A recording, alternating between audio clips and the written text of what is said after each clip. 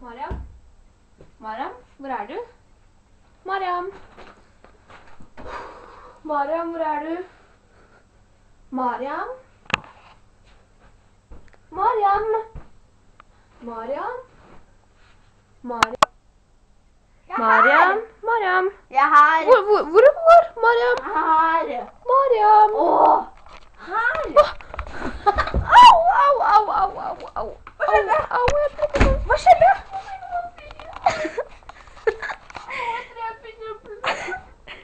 Går det bra, eller? Au! Jeg ble skjegget. Au, jeg blør.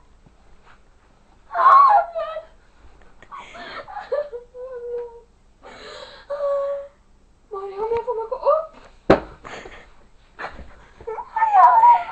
Hjelp meg opp da, Mariam. Skal du slutte mamma, da? For at jeg er lav? Skal du det? Hjelp meg opp. Kom an, da. Nei.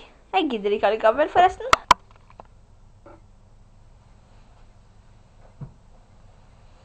Skal du slutte å mobbe meg? Mm, Hjelp meg opp, i hvert fall, da. Å, takk, du er en engel. Au!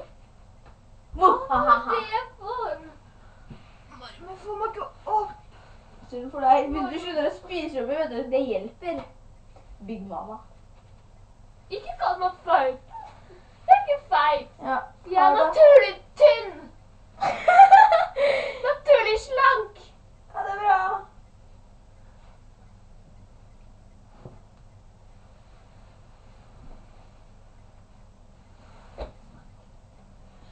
Å, jeg er så sulten.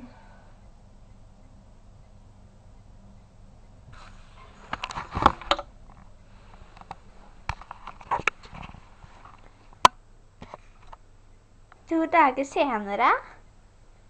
Å, Mariam, jeg er så sulten. Skal jeg få noe mat? Å, jeg er så sulten. Mariam, kan jeg få noe mat? Skal du ha noe mat? Ja.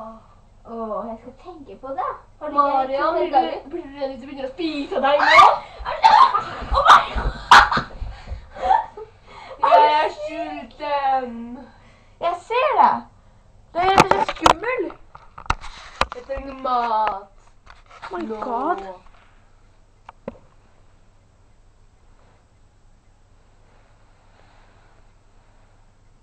Nei. Jeg sa du må bare ligge her og dø.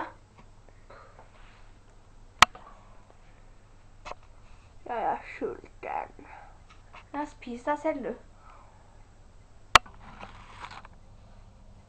Mari?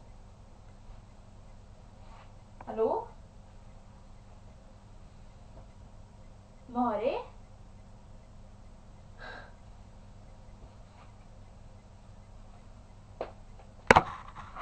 Mari? Mari? Mari er borte. Det er mye feil, jeg beklager. Bare hodet som er igjen. Eller håret, kanskje. Oh my god. Hun er borte. Tror du hun har spist seg selv opp?